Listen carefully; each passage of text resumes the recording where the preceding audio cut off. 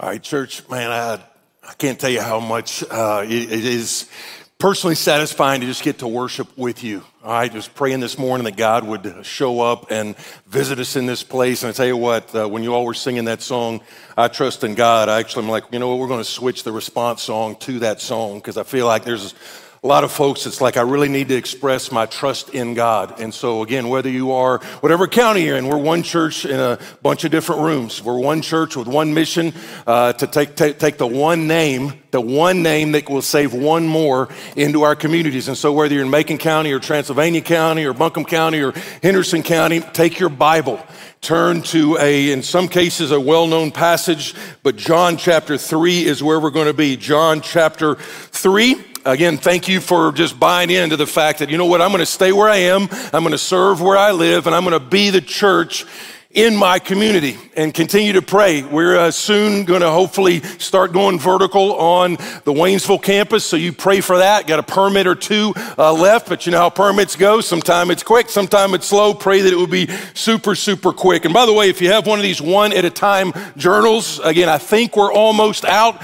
I would definitely know we're going to be out after today. You can uh, download it online. As I told you before, we're like, how many should we order? We ordered 10,000 of these scripture journals and you guys were like just like vultures on a carcass. I mean, you just went after those things, and these are all but all but gone. So if you do have one of those, we're going to be on page number uh, 34. Page number 34. Let me set it up this way because we're going to look at a a passage, uh, particularly one verse that for some of us, even if you're new to Bible study, this is a verse you've, you've heard. And I tell you where it really jumped, uh, you know, way up, where 90 million, 90 million people Googled this verse a number of years ago. But a number of years ago, uh, our friend, you know, he's a friend of our church, uh, Tim Tebow was playing in the national championship game against my wife's team, the University of Oklahoma.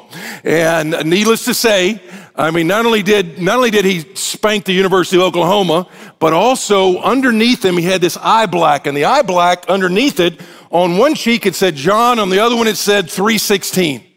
And during, during the national championship game, 90 million people Googled the verse John 316. Fast forward exactly three years later. Three years later, Tebow was playing in his first playoff game. He's a quarterback for the Denver Broncos at this point. They're playing the Pittsburgh Steelers. That's that time where he, uh, he, throws the winning touchdown pass. In overtime, everybody goes crazy. He pounds the, the dirt with his fist. And then later on, after they got some of the statistics in, here's what happened in that playoff game. He averaged 31.6 yards per completion. He threw for exactly 316 yards. CBS's ratings were 31.6. The Steelers' time of possession was 31 minutes and six seconds. He averaged 3.16 yards per carry. And so, even though they say you can't wear the eye black, that happened, and people were interviewing him, and they're like, What do you think? What kind of coincidence was that that all of those stats would come to John 3:16? And that's, that's where Tebow goes. A lot of people say it's a coincidence. You know what I say? I say that's a big God. And so, even if you are new to the Bible study, John 3:16 is a verse that you've either heard about, you've seen at a stadium, and it is an amazing verse.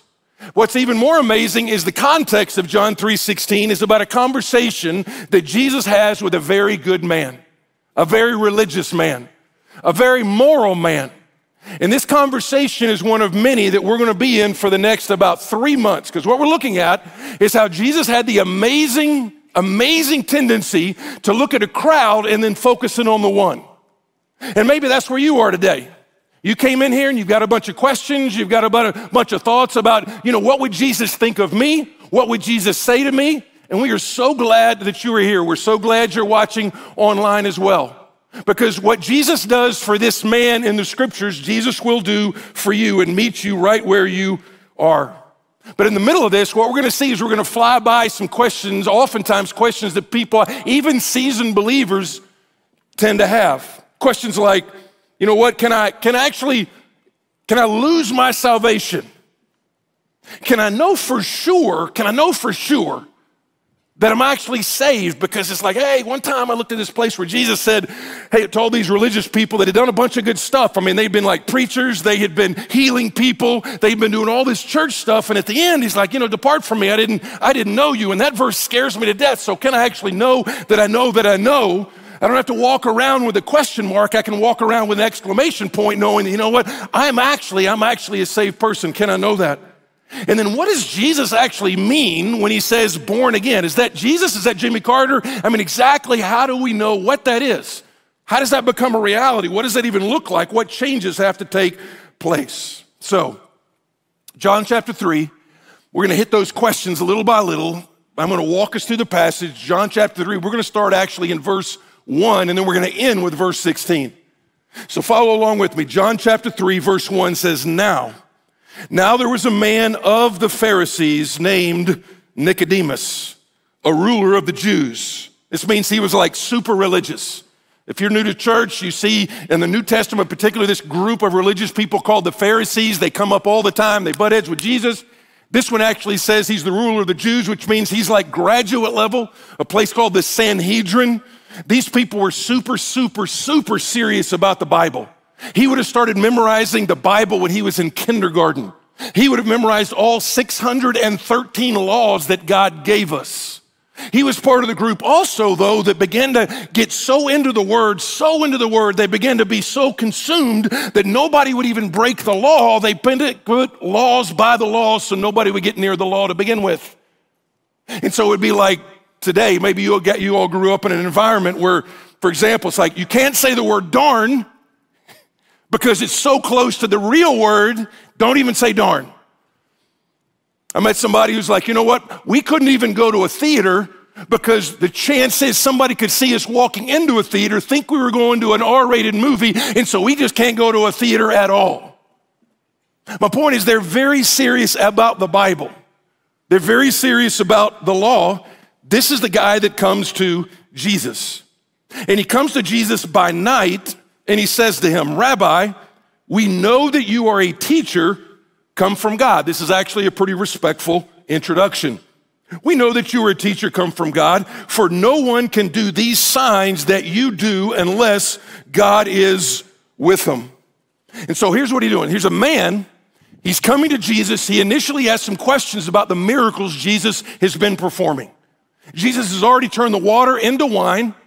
At the end of the book of John, it says Jesus did so many more things that if we wrote them in a book, the world could not contain all the books. So at this point, Jesus had done a number of miracles. Nicodemus is like, man, nobody can do those unless you come from God. And what Jesus is going to do is he's going to flip it upside down and say, You came with a question about miracles, and I'm going to tell you, you're not going to understand the miracles until there's a miracle done inside of you to begin with.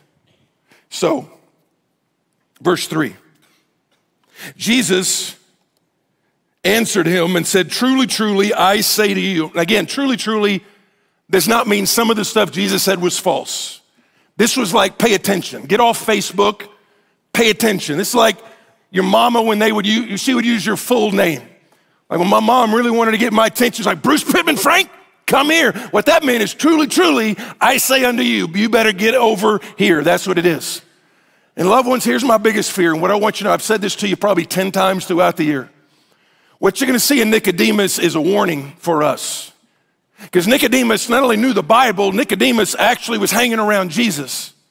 And one of the biggest warnings that you see a number of times in the scriptures is listen, make sure you're not just about, I know the Bible, make sure you're not just hanging around Jesus. Because what is clear in this conversation is you can know the Bible, you can hang around Jesus, you can hang around Jesus' people, and yet not know Jesus.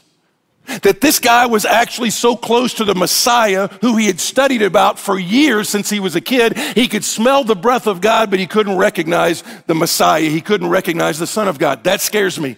That you would come to church and hang around and sing the songs and talk about Jesus, and yet you would actually not, not be born again. That is frightening.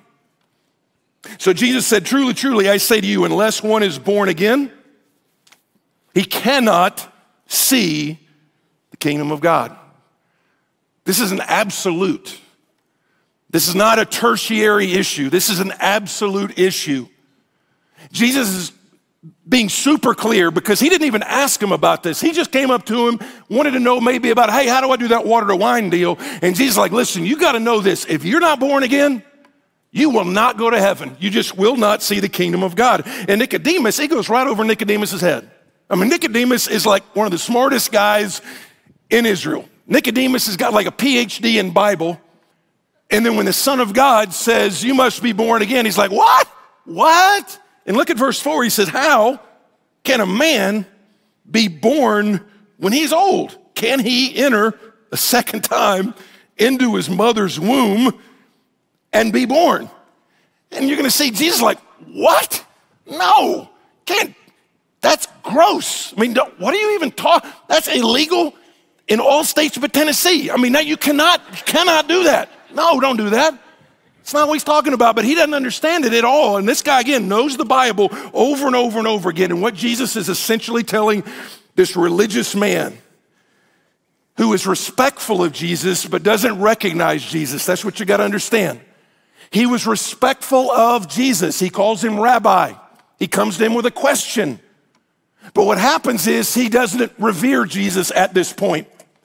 Again, my question to you is Have you been born again? You got to ask that question throughout the message. How do you know that you have? What difference has it actually made? Have you been born again? That's what he's asking. And Nicodemus, like, what? I don't even understand that at all.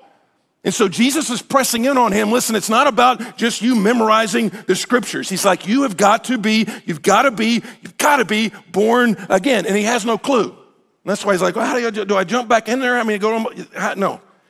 So here's verse five. Jesus answered, says it again Truly, truly, I say to you, unless one is born of water and the Spirit, he cannot enter the kingdom of God. That which is born of the flesh is flesh, and that which is born of the Spirit is spirit. And he says, Do not marvel, because that's what Nicodemus was doing. He was marveling, he was astonished that Jesus had looked at him as a religious person and said, You must be, you must be born again.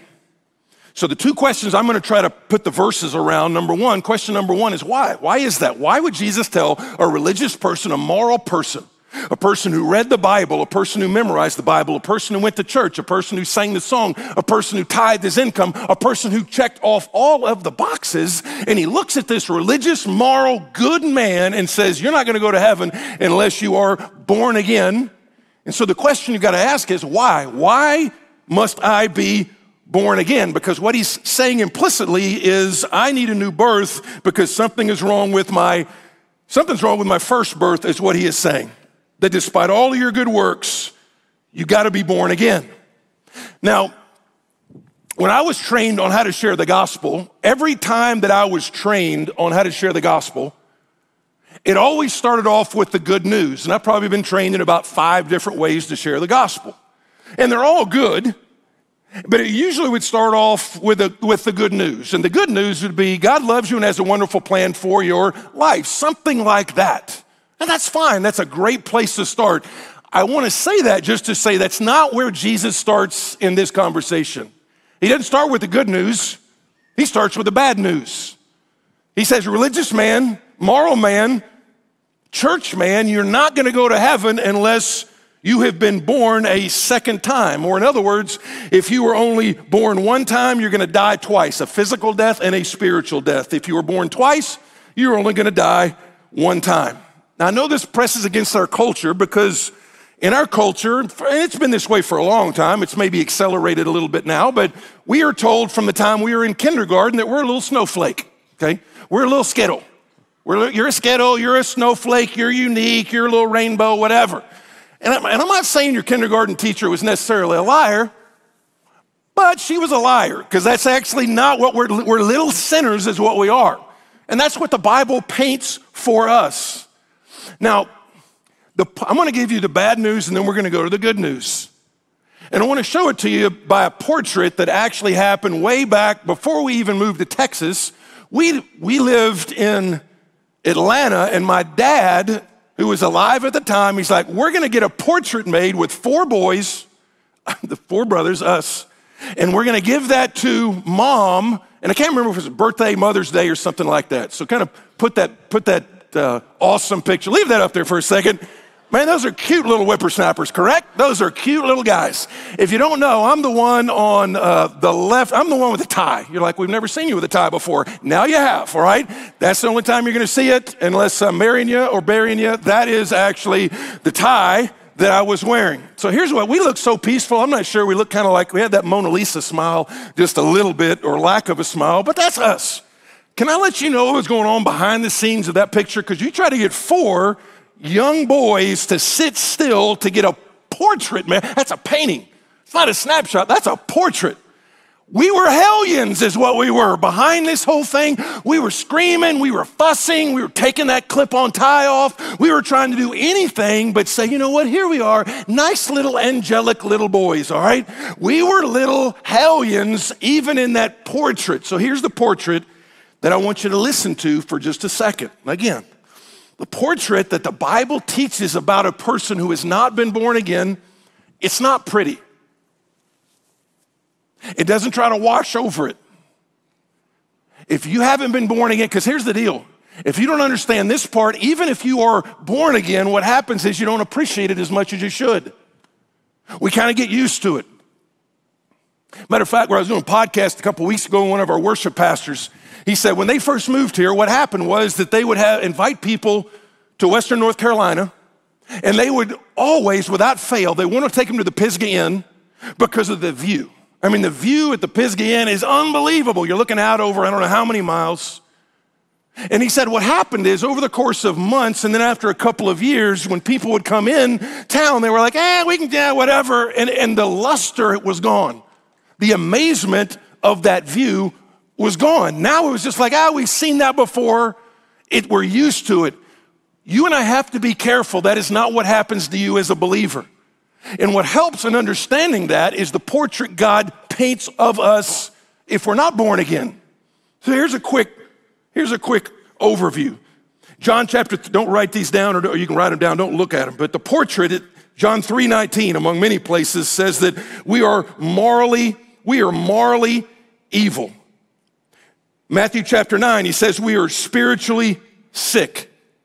Ephesians chapter 2 says we are children of wrath, that we deserve the wrath of God. Romans chapter 5 actually says we are enemies of God. Now, by the way, sometimes people are like, well, you know, I don't like to use the word saved. I mean, it sounds so redneck. I mean, the word saved. I mean, it's like, why would I use the word saved? My question is, what other word is appropriate? Improved? I mean, uh, helped out a little bit? When you look at when you look at our condition, does it make you want to go, you know what? I, Jesus has enhanced me a little bit. That's not it at all. It's He has saved me, He has rescued me. The Bible actually says we are spiritually dead. Dead. Not Princess Bride dead, like just a little bit dead. I'm not saying that. We're like completely dead. I think it's been a number of years since I told you this story, but years ago, I took my son to uh, Mali West Africa. It's a failed state now.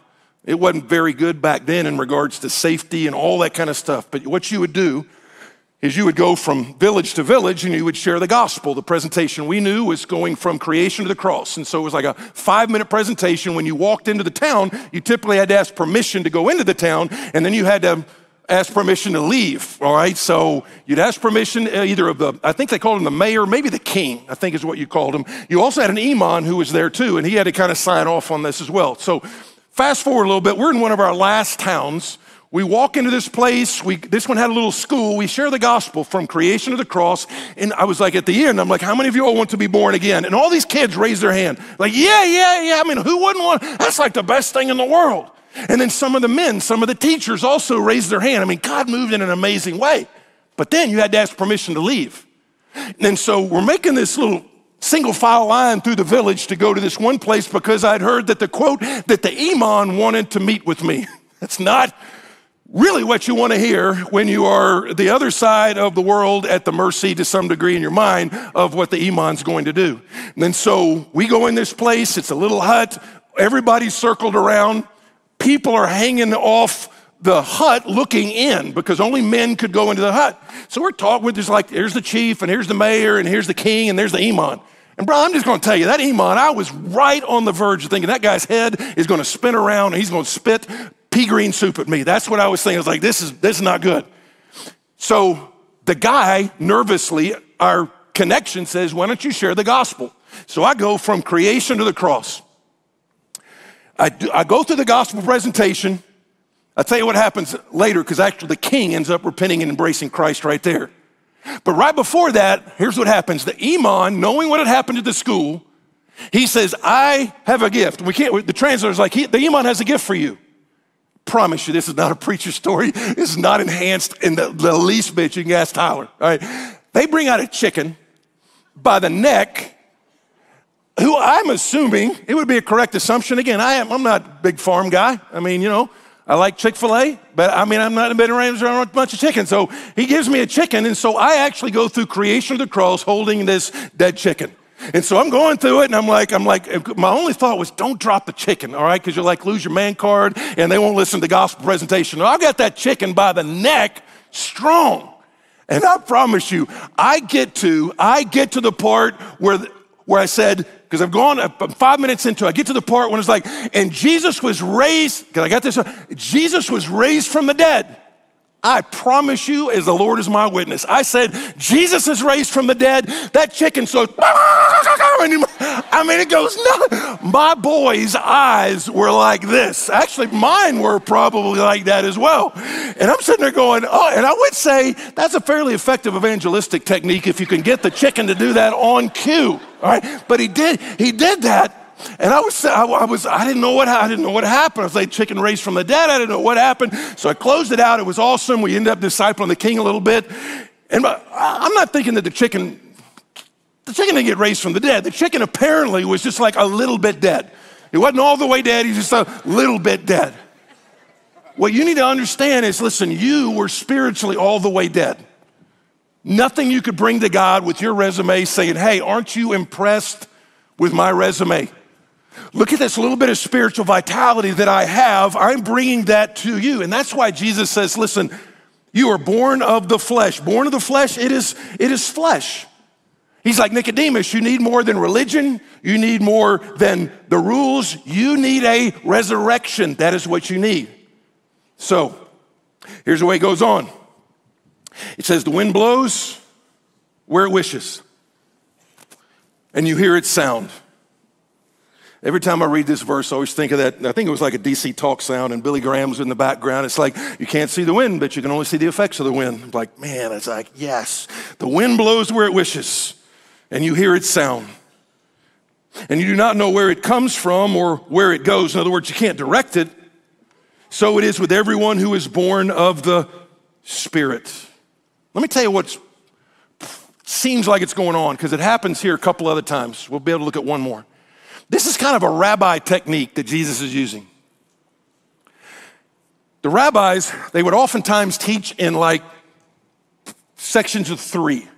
Like look at Luke 15 one time, and you see him teaching in three stories. One point, three different stories. You know, lost sheep, lost son, lost silver. You see those. And he's doing something similar here. He's actually referring, remember, this guy knew the Old Testament backwards and forwards. And you're going to see that he goes back to the prophet Ezekiel. He also uses a guy named Moses in the Bible. And then actually in John 3:16 there's a little bit of an allusion to Abraham when he's like, you know, your only begotten son. So here's what just jot this down in your notes. Jot down Ezekiel 36 and 37. Let me read you a couple of verses. Ezekiel 36 and 37. Verse 25 says, I will sprinkle clean water on you, and you shall be clean from all your uncleanliness. And wouldn't that be an awesome thing if you could leave church today and go, all my rebellion, all my sin, all my secrets, all my stuff, all my shame has been wiped away because of what Jesus has done. We talk about awesome being able to walk out of here with not just a clean soul, but a clean conscience. This is an allusion to the new covenant because here's what he says He says, From all your idols I will cleanse you, and I will give you a new heart and a new spirit I will put within you, and I will remove the heart of stone from your flesh, and I will give you a heart of flesh. Now, this is one of the wildest scenes right after this in the scriptures. Because right after chapter 36 in Ezekiel, God gives Ezekiel this vision in chapter 37. It's known as the Valley of Dry Bones. And what happens is, he says, Ezekiel, come out here, and he shows him this vision of all this dry, these dry bones. In other words, they have no life in them at all. No life at all. He's like, Ezekiel, can these bones live? And Ezekiel doesn't really know the answer. He's like, oh, only you know, God, only you know, God. And then God begins to begins to breathe on these bones and then sinew and tendons and all this stuff starts to come up there. And what Ezekiel thought was dead, when God breathed on that, became alive. A loved one, that is a great, that's a great reminder for the church. It's also a great reminder for this year of one. Number one, that's essentially what the church is. All of us right here, all of us all over the place. You know what the church is? It's a bunch of dead people a bunch of dead people, no spiritual life at all. God breathed on you, raised you up, and now you and I are an army. It also speaks to your one. Some of you are having doubts that your one can ever, ever, ever have a relationship with Jesus. And what I'm going to tell you is listen, God's the one that breathes new life into somebody. And you need to be praying with faith and belief that, you know what, my one is not too far gone. God's arm is not too short to save. Just like He just like he breathed life on a bunch of dead bones, he can do the same thing to the person that I love and I'm praying for.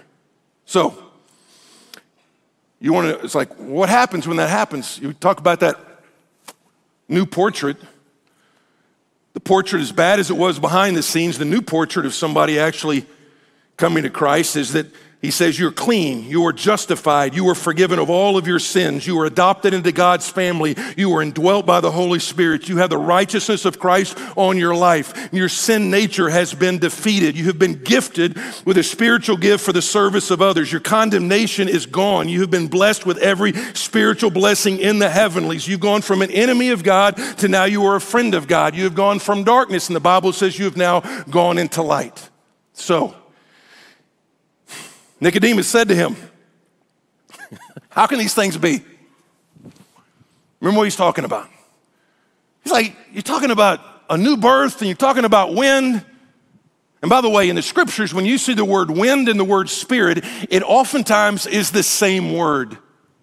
It's the idea of the breath of God, that God breathes on. Remember, like if you go back to Adam and Eve, what happened? He breathes on them, him, the breath of life, and the Bible says he became a living soul. That's what he does for you spiritually.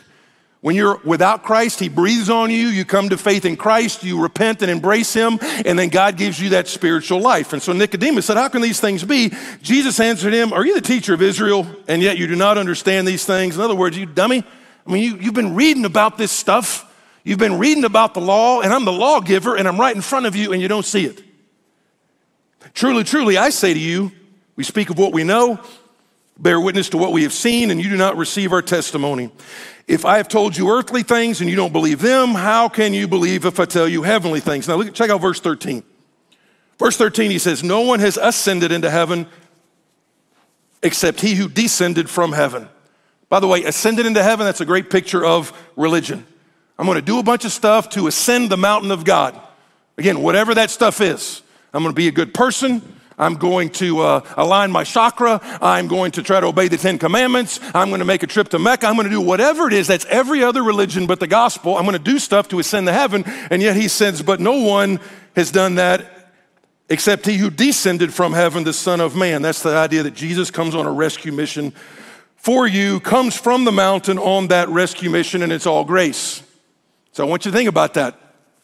Grace is one of the hardest concepts that for you and I to ever accept because there's nothing we add to it despite how much we want to. So if somebody comes up to you, because actually when we try to add to it, it's in some ways an insult to God. You'd be insulted too if somebody came up to you and said, Hey, I'm gonna give you this $70,000 truck. Man, I love you. I wanna give you a $70,000 truck. Just, just, here it is. Let's say his name is whatever, Jim. Your friend Jim's gonna give you a $70,000 truck. And you're like, oh, Jim, that's amazing. That's amazing. And then you like take out a quarter or something. You're like, hey, I don't want you to pay for all of it. Here's like a quarter. And then somebody asks you, hey, where'd you get the slick truck? That truck is awesome, man. That's a Ford F 150. It, yes, it is a Ford F 150. Yes, it is. I love that truck. He's like, Jim and I bought that together. What? You and Jim didn't buy that together? Jim would be insulted. Jim was like, no, that's a gift. That's just a 100% gift. That's what being born again is. It's like, oh, how does that even happen? Well, check out what's going on in the last few verses. Because again, he's going to go to another little rabbinical technique and use a Bible verse to explain another Bible verse. So, how am I born again? Verse 14.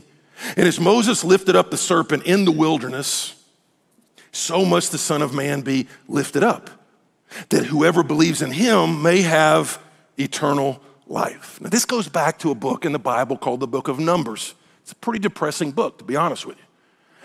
And so what happens, he's going back to a time, and you might not be, you probably have heard of Moses, or you might have heard of Moses, think you know, Christian Bale. So just think, you know, Moses, okay?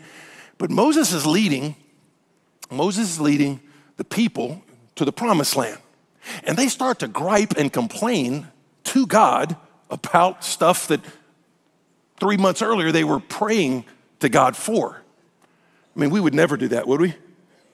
I mean, we would never complain about stuff that a few months ago we were actually asking God for. We'd never complain about a job that God has given us now that three months ago we were begging God to please give us a job. We would never complain about our spouses who four months ago you were asking God, please don't let her walk out the door. You would never, come, we would never do that. We never complain about our kids, all right? We never complain about our kids, you know, who were like, God, please give us a baby. And now it's like, oh man, if I could just get two hours of sleep. We would never complain about the traffic as we drive the car that we prayed for six months ago. We never complain about that. Because essentially that's what sin is.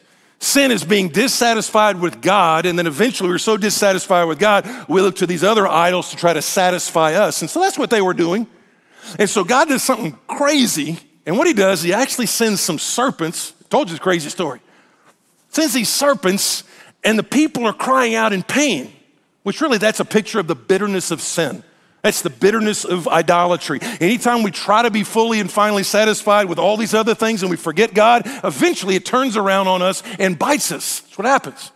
And so what he does, he tells Moses, he's like, Moses, here's what I want you to do. I want you to take one of those serpents. I want you to take a bronze serpent, mold a bronze serpent, and I want you to hold it up, and anybody who looks at the bronze serpent is going to be healed. He's like, Nicodemus, remember that story? I mean, Nicodemus at this point is like, yeah, I've taught that story in Connect Group 10 times. I don't know that story. I teach people that story. And then Jesus is going to go, listen, just like Moses lifted up the serpent and people who looked at him actually got, got healed, the same way, the same way, the same way I'm going to be lifted up, and anybody who looks toward me will be healed of their sin as well. So, verse 16, for God so loved the world. So is an amplifier. It's like you got, I'm sure we got amplifiers somewhere in this in this stuff. And what does it do? It takes music and it puts it out there super loud. And what he says here is he says, For God so, God amplified, God wanted you to see. You think what Moses did? You think what God did with Moses to heal those people of a snake bite? You think that's awesome? I'll tell you, awesome. What's awesome is that I'm going to be lifted up, the one who knew no sin, to be sin on your behalf that you might become the righteousness of me. That's awesome. And that's why it says, So God so loved the world that he gave his only son, that whoever believes in him should not perish but have eternal life. Now, that little whoever is a big, that's an awesome, awesome invitation. Because that means whether you're separated from God because of your rebellion, because again, anytime, anytime you've got a number of people, there's always enough people that are like, you don't know what I've done, you don't know where I've been, you don't know what wickedness I've done, you don't know what I did on spring break, you don't know what happened at prom last week, you don't know any of that stuff at all. But if you're in the whosoever, the whosoever category, guess what? Then that's you. This is not cheap grace, though, by the way.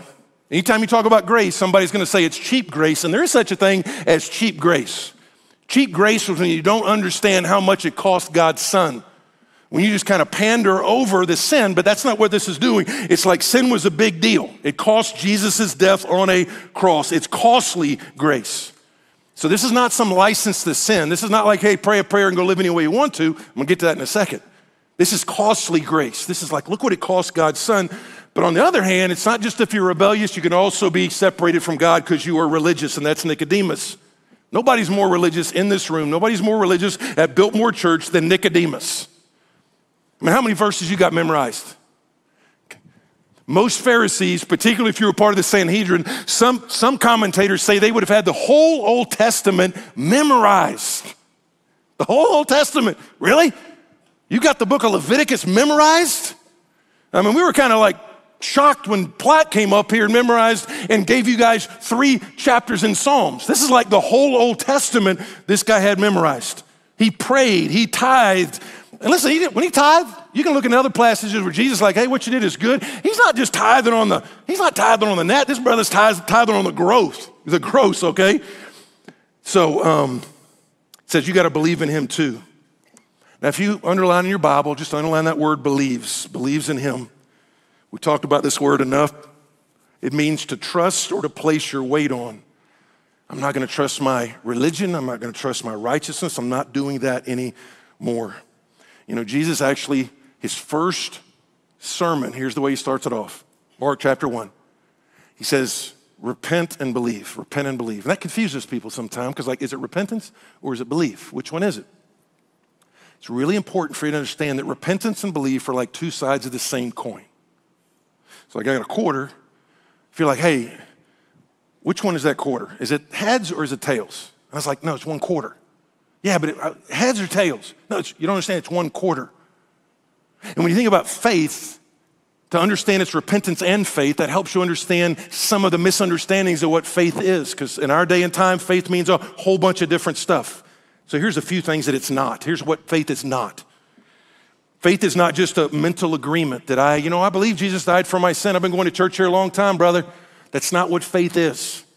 The Bible says the demons even believe like that, and they, at least they shudder. In other words, they're like, oh my goodness, they at least have a, some kind of fear of God. So it's not just a mental assent. It's also not just, and listen to me carefully so you don't misunderstand me. It is not simply praying a prayer or filling out a card or raising your hand. Can those be legitimate expressions of what the Bible says to call on the name of the Lord? They can be.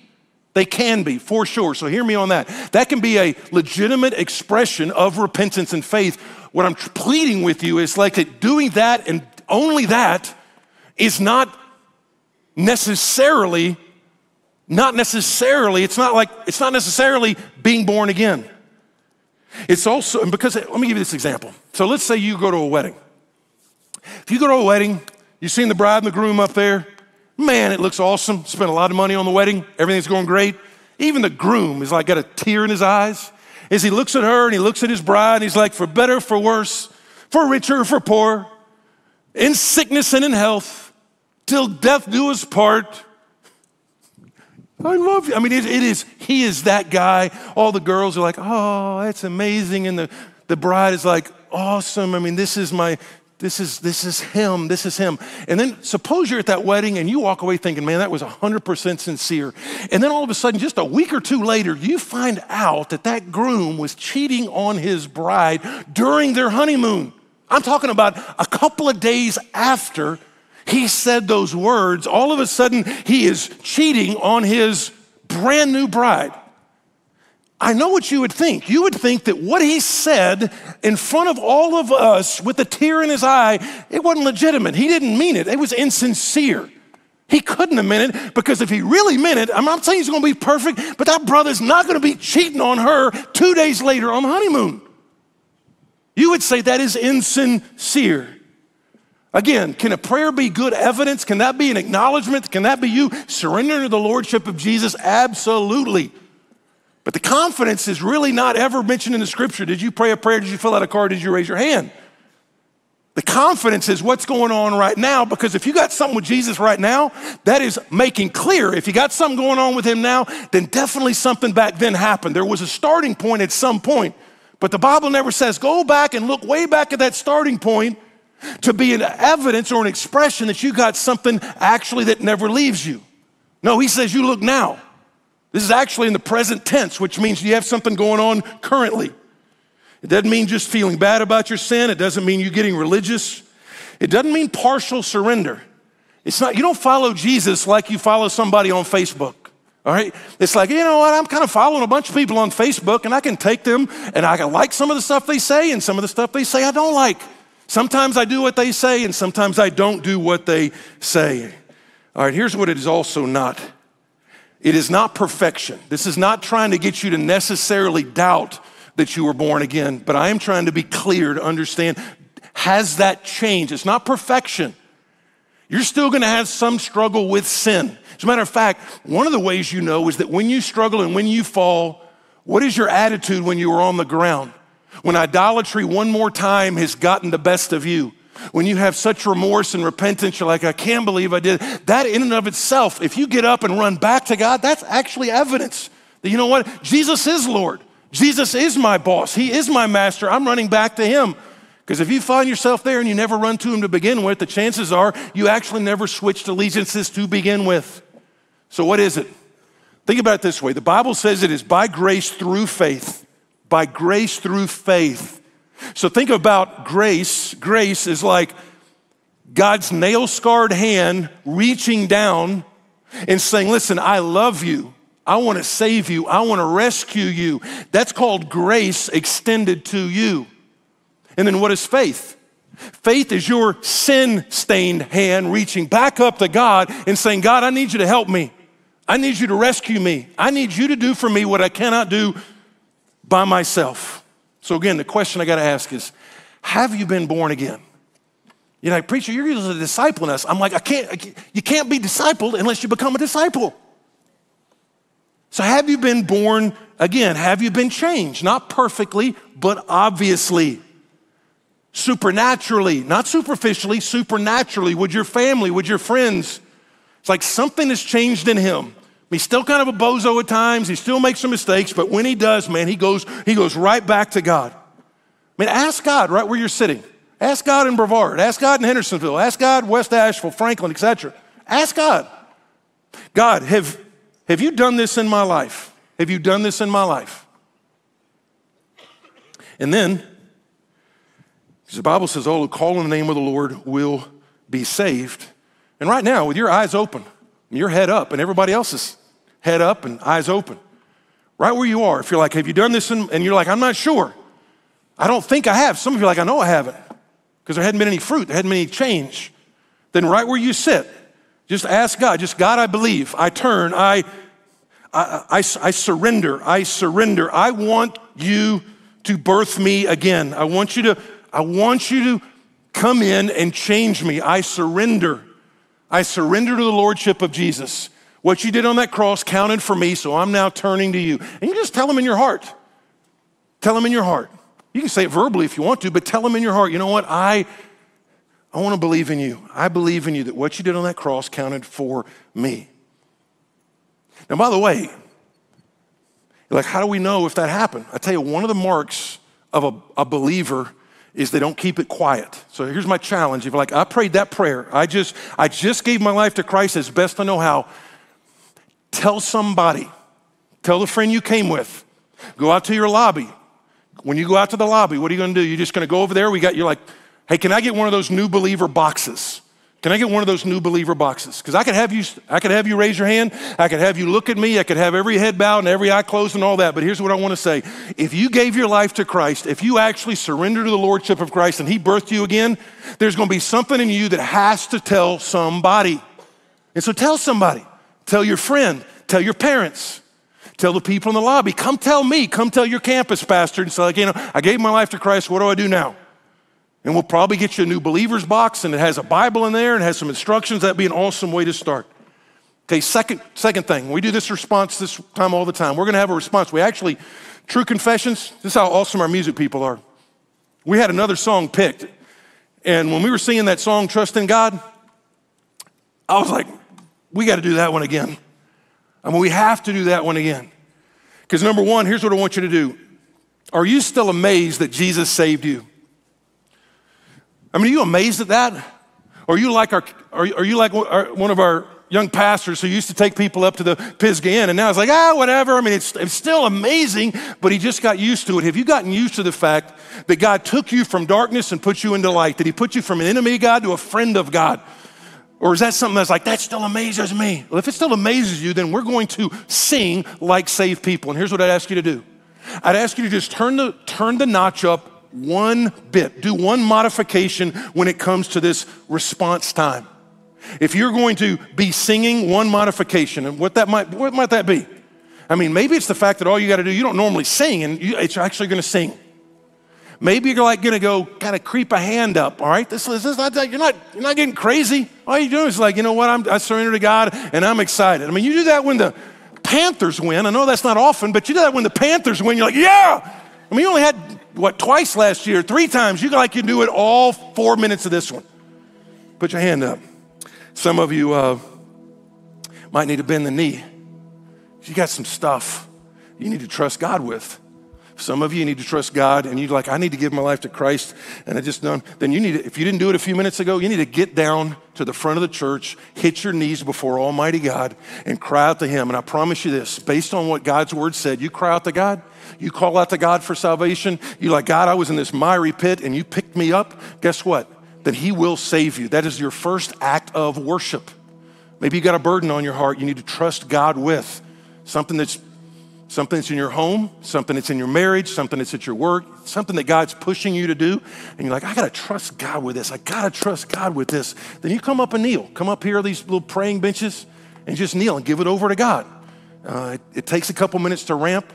And then again, what we do is we don't, again, we don't take up an offering, but we do want to give God our first and best because God gave us his first and his best. So why don't you stand to your feet, and I'm going to pray. So stand to your feet, and we're going to respond. It's not a time where we leave or try to check out. This is the time where for four minutes, is like the back part of, of our worship. And again, you know that people would love to meet you afterwards, but right now, right now, let's respond. We're going to come and pray. We're going to sing like saved people, or we're going to bring like saved people. So, Lord, we're grateful. We are grateful that we have an exclamation point, not a question mark. We have an exclamation point that you birthed us again. You birthed us from above and you have breathed life into a bunch of dead bones, and you're raising up an army. God, thank you. That's all of grace. It's all of grace. Help us be amazed at that. Help us be continually amazed that you took us as orphans and you adopted us into your family. Let us never get tired of that. God, help us in faith believe that for the one that we're praying for, even now. If we had put a one on the wall, help us go in faith and like that. I'm putting my one on the wall. I'm praying for my one right there. But God, thank you that all around us are evidences of the new birth. God, we pray that people, if they just gave their life to Christ and actually surrendered to Christ, are going to do so now, help us to come alongside them and encourage and cheer them on. But God, we want to echo as a people, as an army that you breathe life into, that we want to trust in God. We want to trust in God. You have always been there. You are faithful, and we want to act like we know that. In Jesus' name, amen.